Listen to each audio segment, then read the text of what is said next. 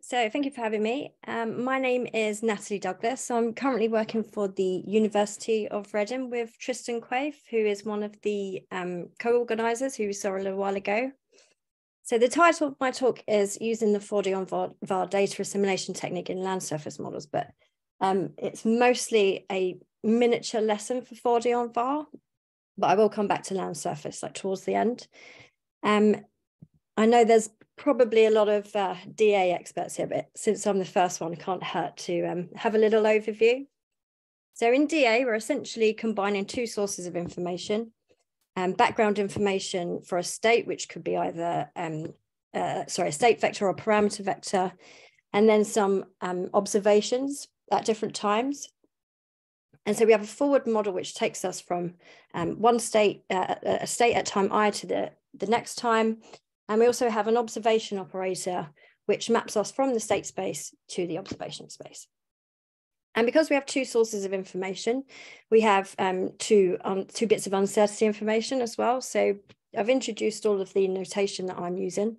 Um, so you've got your X's for the state vector, Y for observations, H for observation operator, and then B and R are your background and observation error covariance matrices. So you're probably all familiar with 4D VAR. So in 4D VAR, we're essentially looking to minimize a cost function that weights a, a prior term. So this is the um, information that we have about the um, background state or background information about the state.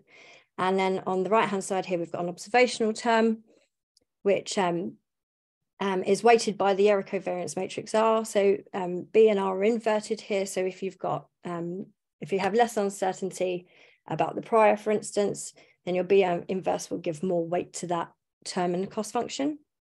And we're essentially trying to minimize this and, and weigh up you know, the best, uh, an optimized state that takes into account both, source, both sources of information. So you might not be as familiar with the hat notation. So normally you would see a, a sigma, which um, adds up all of the cost terms over each time. Whereas what I've got here is um, a concatenated version, so a compact form where I have the um, concatenated observations. I've got H hat, which is um, mapping at each time. So starting from an X0, you would map with your forward model to um, the next states, and then you would use your observation operator to take that to observation space. And then similarly, R hat is um, is um, just a, a, compact form for the error covariance, observation error covariance matrices each time. And if you have no covariances between your observations, then this is um, ultimately just a diagonal matrix. But um, to minimize this cost function, we have to find a gradient. And um, lots of problems arise when you do this, um, specifically finding um, an adjoint so lots of um, differentiation to be done, and that can be quite difficult, especially if your your code is quite complicated. And also you've got um, a B matrix as well, which um, if it's not conditioned properly can slow down your um, your optimization. Um, here we've got, I'm just showing you what the adjoint looks like in the in the compact form. So your HAT is just basically um, products of Jacobians that you get from the chain rule if you have to differentiate um, a, a, chain at each time step. so if we're doing this, um, we have to make sure that we um, do the correctness tests, you know, um, test the adjoint and do gradient tests, um, which applies for, for most um, optimization problems anyway. So as I mentioned, some of those problems, um, non-linearity in the 4D VAR case makes it difficult to find a global minimum you're essentially optimizing a, a nonlinear function and you and you you'll only find a, a local minimum. Um, so I said the the B matrix can be um, ill conditioned, slow down your optimization, um, and the differentiation being quite difficult. But also, we don't usually get an update to the error covariance matrix when we're using 4D VAR. So the first um, problem to combat um, is nonlinearity and and essentially 4DEnVar will sort out the rest. So I'll come to that after I've spoken about incremental 4D VAR. So if we assume that um, there is a small perturbation to the background state, so our optimal X would just be um, our background state, so knowledge of our back uh, of our state, um, plus delta x, so some small perturbation, we can um, linearize and um, turn this cost function into a, um, a quadratic one. And a gradient will be linear. So um, as you can see here in the, um, the prior term, the um, x minus xb just leaves the delta x. And then here what we've done is taken a Taylor expansion. So this is the same uh, uh, derivative um, matrix as before.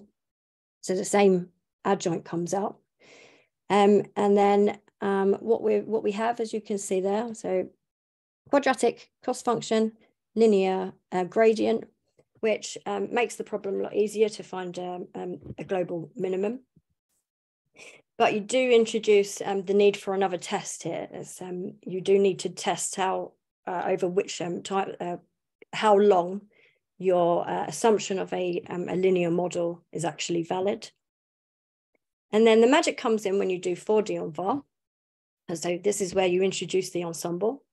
So instead of uh, you know just a, an increment here, delta x, we're assuming that um, we can take an ensemble and then um, and the ensemble mean is going to be our, our background state. Um, these are the ensemble perturbations defined by um, taking an, an ensemble from parameter space, I should probably tell you a bit more about the ensemble, but assuming the um, background state is updated by some linear combination of the um, perturbations to um, your, um, your, your perturbations in your ensemble. And this W here is actually in ensemble space, so it's a, a smaller problem.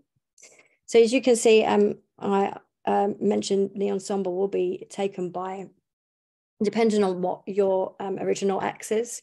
Now, in my work, I'm doing um, parameter estimation. So my state vectors are um, parameter vectors. So I, what I will essentially be doing um, in JULES is uh, picking a parameter um, or a, set of parameters and um, I, I know from my background state what the distribution of that parameters should be. And I can sample from those and then define my ensemble in this way. And then my ensemble and perturbations in this way. And this also allows us to um, uh, get an approximation for the, the error covariant, the background error covariance matrix B. And it's um, also preconditioned. So it, it helps with a lot of the problems of 4D and VAR. So if we if we take this setup um, we have another change to the um, cost function. This time, the background term is simplified with just W's in. So the B inverse actually um, cancels. And then um, we've got the same term as before, where this was um, the H bar matrix, but we can now avoid calculating adjoints and H bar and differentiate uh, Jacobians um, because we have an ensemble and the perturbations of that ensemble can be, um, uh, if you like, transformed to observation space. We can approximate that H hat matrix multiplied by um, the perturbations in the parameter state to perturbations in the observation state. So what we're doing here is just a, another Taylor expansion uh, to approximate those derivatives. And then as you can see, this is the, the full model. So we're just mapping um, ensemble members um, into observation space, well, propagating forward if you have a, a forward model as well. when you do um, parameter estimation, you assume that parameters are fixed, so that, that the complexity of the uh, forward model actually disappears. But um, the, the magic of this is you are actually um, getting rid of all the difficulties and, and the problems that you have um, from doing um, 4D VAR. Um, one of those being the fact that you can now actually um, update the ensemble by borrowing um, a, result from the ensemble Kalman filter. So they have a, an update to the um, error covariance matrix. So you can get the uncertainty information in your posterior estimate. There's a lot more um, linear algebra that goes on here, but um, essentially you make this assumption do some linear algebra here, and then you're able to do a square, square root of um, a matrix to get an update to the ensemble to find your analysis. Okay, so um, I prepared this slide uh, specifically for this talk um, because um, uh, recent talks have sort of highlighted some issues. Um, uh, um, that, that there's not a lot of testing that goes on with 4D VAR from from the offset. So um, I, I strongly encourage like a like a simple test to 4D VAR um, with with uh, the models that you're using. So what I've got here is uh, I've chosen one parameter that's um, in a JULES in a JULES model uh, used to estimate, um, sorry, used to model GPP, so gross primary um, productivity. Um, it's a, um, a quantum efficiency parameter. So what I've done is I've got some prior knowledge of um, my, my alpha value and some uncertainty information on that. So I've got my prior distribution. So then I can um, um, take a, um, an ensemble from there. And this is the uh, the prior ensemble. And what I've done here is I'm testing my 4D VAR by taking a truth run. So I'm selecting a parameter value of alpha, uh, which I, was deliberately low, as you can see on this side. Um, and then lower than my, my prior information. I run my JULES for my, my truth value, my prior value, and for my ensemble. I run the 4D VAR, and it should behave something like this. Now, the, re, uh, um, the reason this is so is working so well is because it's just one parameter, and I'm in using a truth run. But this is just a simple test that you should implement to make sure that your 4DEnVar is working before you introduce uh, real observations. So as you can see there, it's, it's behaving well it, um, because there are some approximations in the um, in the 4D VAR um, cost function and its gradient. Um, there isn't an exact match there, but it is behaving how you'd expect it to. And you can see that the um, analysis, so your um, optimal estimate is almost recovering the, the truth run exactly. So yeah, so strongly recommend to do synthetic runs when testing 4D VAR. So I think I'm almost out of time. Um, so this is actually um, a result that my predecessor um, came up with and published in 2020. I think Ewan is speaking next, actually, but on something unrelated. Um, so you can see there, this is 4D VAR um, in practice. And this was also uh, done with a synthetic run first to make sure um, that it works properly, but there are multiple parameters being op optimized here. And you can see that the, um, the uh, posterior GPP is is um, matching up with those um, observations quite well. I'll just show you in the previous slide as well. The RMSE is a good indicator to show that your 4D VAR is working. So it's worth um, keeping those in. Two minutes left. Okay, I'm just about to finish. Um, so um, I actually have um, some 4DEnVar Python code um, ready for anybody who wants to, to use that, and that's on GitHub there. Um, and the work that I'm currently doing with this is to um, optimize for um, some stomatal conductance parameters um, and choosing like because in JULES there's a couple of um, stomatal conductance models. So I've been testing um, those out, trying to use 4DEnVar to find the the parameters that do the best performance for GPP there. And I'm also um, looking at um, 4D VAR versus 4DEnVar for um, dummy models. So see, see which, um, which of the methods performs better in which areas.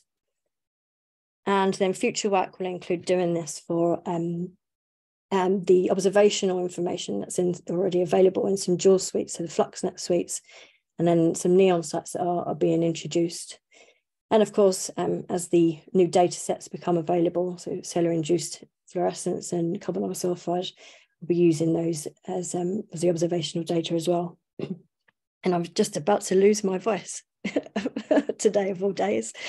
Um, and uh, yeah, that's it. That's me. Thank you.